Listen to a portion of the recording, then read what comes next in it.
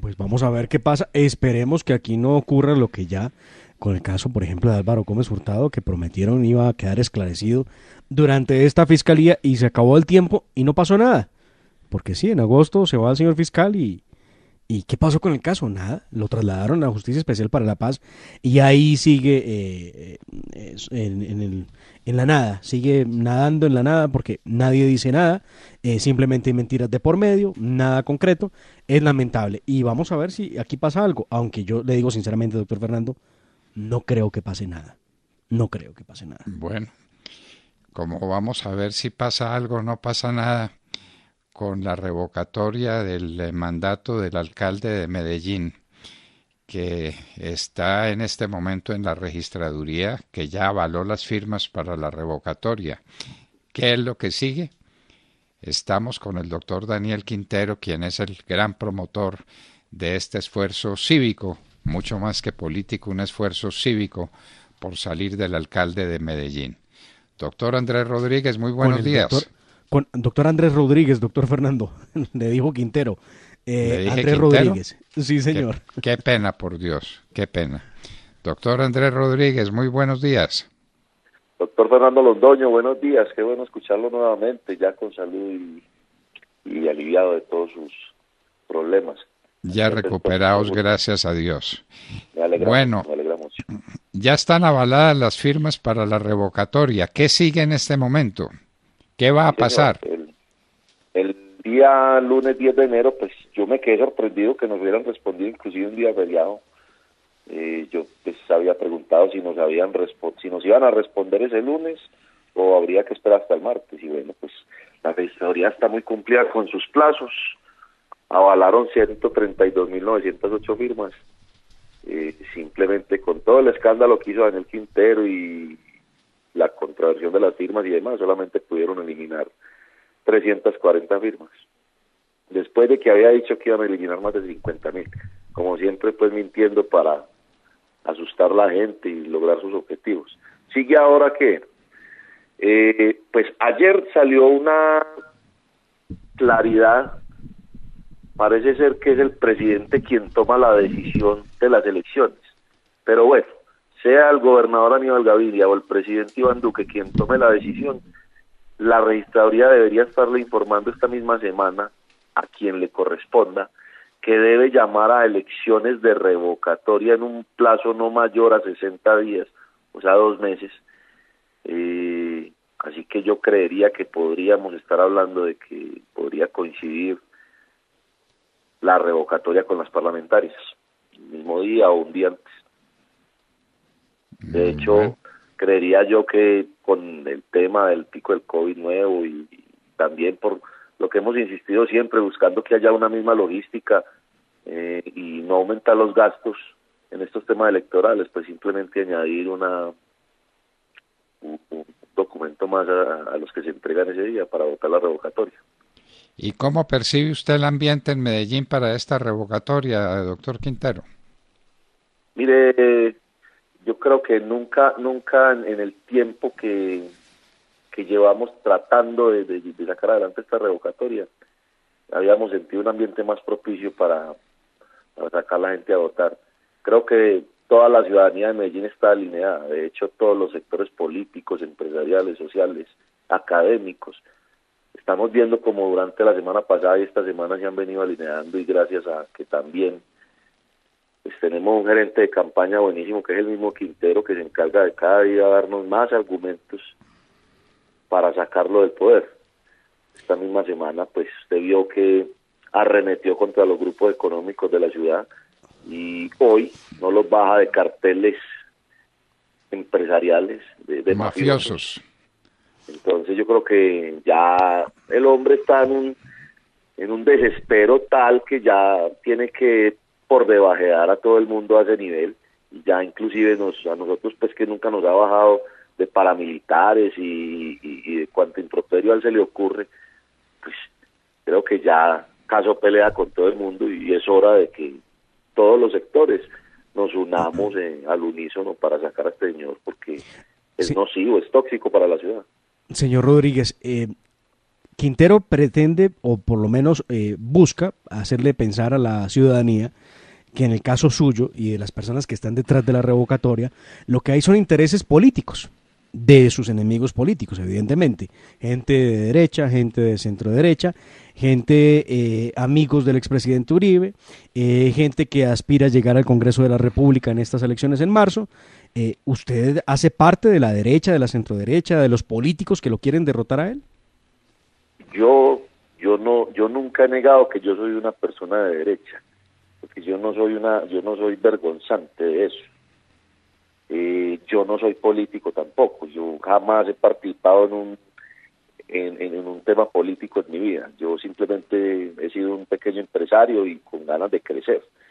Lo que pasa es que nosotros tomamos una decisión como ciudadanos al ver cómo los políticos del momento no tomaban decisiones respecto a los comportamientos de este señor y veíamos cómo iba acabando sistemáticamente con la ciudad y con todas las entidades que hacen parte de la administración de, las, de, la ciudad, entre esas las entradas públicas de Medellín, empresas varias, el Jardín Botánico, Ruta N, etcétera, y vemos cómo todas vienen en, en, decadencia en las instituciones que dependen de la alcaldía como Metrosalud, el Hospital General, todo, el Metroparques, todas con escándalos de corrupción, el INDER ni se diga.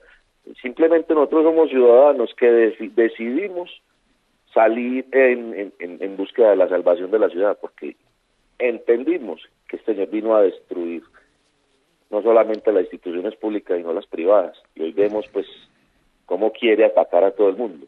Nosotros no hacemos parte de, una rencilla política ni nada, no. Simplemente estamos por la vía de la salvación de la ciudad. Hoy vemos cómo todo el mundo se está alineando, sin importar la orilla ideológica uno aquí ve de izquierda, de derecha, de centro, de lo que sea, los ve alineados porque somos conscientes como ciudadanos de, de Medellín que este señor nos está haciendo un daño, ojalá que no sea irreparable. Lo que yo sí soy consciente es que todavía estamos a tiempo de sacarlo para poder recuperar la ciudad.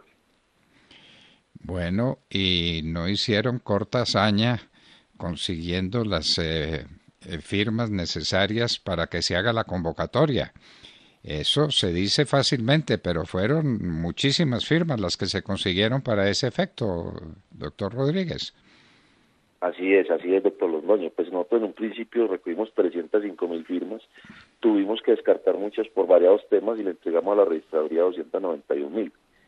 De esas 291 mil, pues nos aprobaron el 45%, que según entiendo yo en lo que estudiado y lo que nos han contado es un porcentaje altísimo eh, después de un proceso de estos de recolección. Por eso es que yo siempre insistí, recojamos más del triple de lo que necesitamos, porque eh, la registraduría pues elimina firmas por cualquier motivo, o sea que porque se tocó una firma con la otra, o que la letra no es legible, o hay cualquier error en, en la caligrafía y, y esto da para eliminarlas. Entonces, pero créame que recoger 300 mil firmas una tarea titánica y más que nosotros tuvimos que de bolsillo nuestro pues pagar lo que hubiera que pagar y prácticamente esto se hizo fue con las uñas y con trabajo a honor de muchas personas.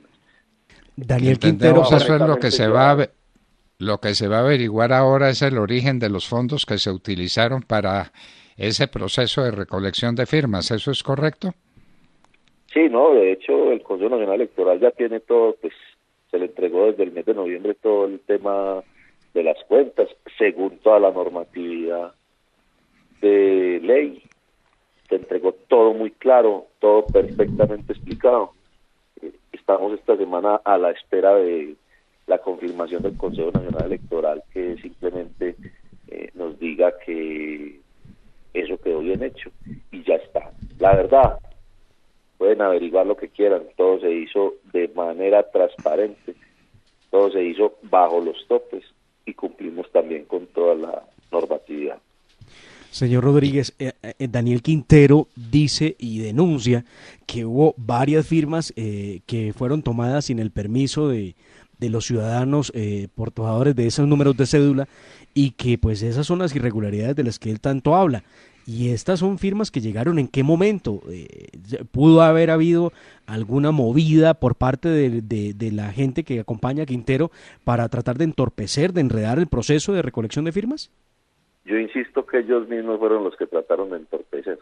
De hecho, hubo momentos en la recolección de firmas que a mí personalmente me tocó eliminar paquetes enteros de firmas que nos llegaban a los puntos de recolección porque se veía que evidentemente nos estaban intentando sabotear. Pero yo eso pues simplemente lo pasé de largo y seguí trabajando, porque no creo que eso mereciera un escándalo en su momento.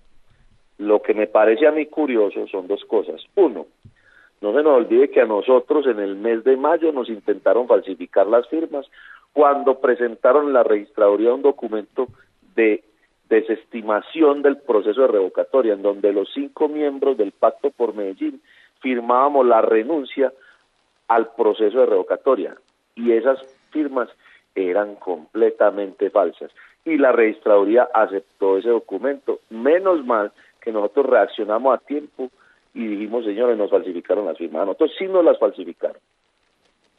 Y eso solo tiene unos causantes. Y lo segundo es que falsificar firmas es muy simple, porque simplemente nosotros recibimos paquetes de firmas y íbamos revisando. Lo único que revisamos era que existiera la persona con el número de cédula y el nombre estuviera escrito con la misma letra del número de cédula, o sea, los cuatro renglones que estuvieran escritos con el mismo tipo de letra y se verificaban en el Centro Nacional Electoral que existieran. Es muy sencillo que entre todas las planillas pues, intenten falsificar alguna firma. Eso no quiere decir que nosotros lo hicimos como nos estaban acusando. Así que para mí quienes intentaron sabotear esto, ellos mismos, porque curiosamente los funcionarios de Daniel Quintero, los amigos de Daniel Quintero son los que supuestamente les falsificamos la firma. Qué casualidad. Pero doctor Rodríguez, estamos hablando de la comisión de delitos. Así es. La falsificación falsedad en documento eh, público o privado. Público si se esgrime ante las entidades eh, públicas correspondientes o firmas en documento privado que han sido falsificadas. Eso es un delito. Así es. ¿Usted lo han denunciado como tal? Claro, de hecho yo le cuento. Cuando él hace esas afirmaciones de que nosotros habíamos falsificado sistemáticamente las firmas, yo la semana pasada le puse una denuncia por falsa denuncia y por eh, injuria y calumnia y también por violación al tema de habeas data. ¿Por qué? Porque es que él tendrá que probar, porque él no denunció, él simplemente hizo el escándalo para ridiculizarnos y para desestimar este proceso. Y a todos los que han dicho es que me falsificaron la firma, yo les digo, usted tendrá que denunciarme a mí y tendrá que probar que yo le falsifique su firma porque es sobre mi persona que recae la responsabilidad y usted tendrá que probar ante la fiscalía que usted usted está diciendo que yo falsifique su firma. Si no, usted estará haciendo una falsa denuncia en mi contra y tendrá también que responder ante las autoridades por ello.